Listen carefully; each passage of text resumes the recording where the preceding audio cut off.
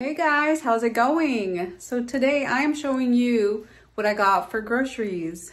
Cora is on her road trip in Dallas. So she's having fun doing her thing. I've been having a nice couple days of just a little bit of quiet time.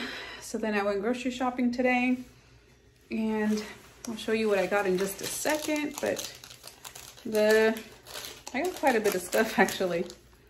So the total, total was 77.91.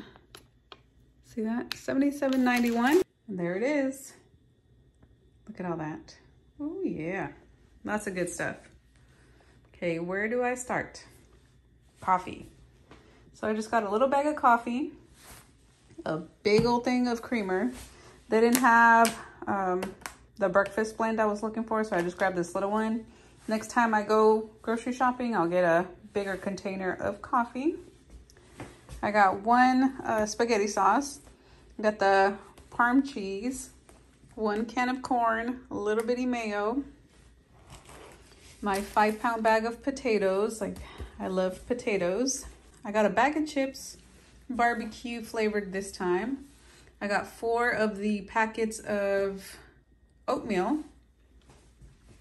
I got this sliced bread, pre-sliced bread for 49 cents and I will freeze most of this and then just take it out and make a sandwich or toast or whatever with it.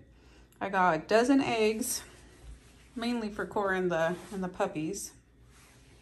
Then I got a huge bag of frozen strawberries, a huge bag of the tropical blend.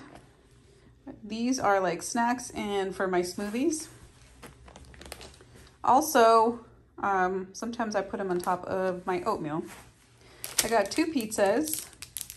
I got some cheese. Love cheese. This time I wanted to try these kind of beans. So I got the small red beans. I got a, they're a pound and a pound. The long grain rice. This will be for the dogs. So I got some romaine right here for my salads, which I'll use about half of one and um, cut it really small. Chop it, I guess. I'll use half of one, chop it, and put that as my bed of uh, lettuce and then top it with whatever you guys already seen how I do my salads. This time I got a honeydew.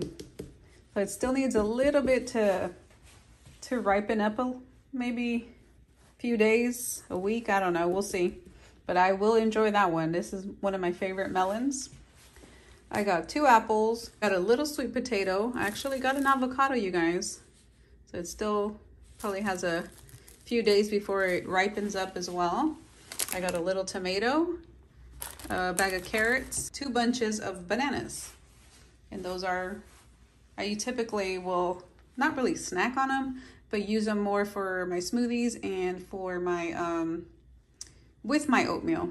So I like to eat a lot of bananas because they're they're healthy, they're sweet, and um, they're cheap. They're very affordable. So this is what I got, you guys. Some of this stuff will last me about a week. Some of it will last me way more than a week.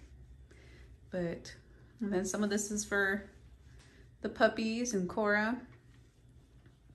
Yeah, I still need to go with Cora later when she gets back. She's gone for a few days, but go get some some meat and keto stuff for her and then some more stuff for the the puppies but so far this is the actual start of my grocery shopping for April 2023 Thanks so much for watching Dia's Frugal Life. I'm Dia, and if you enjoyed the content, make sure to subscribe, hit that bell, and enjoy more future videos. Bye, guys.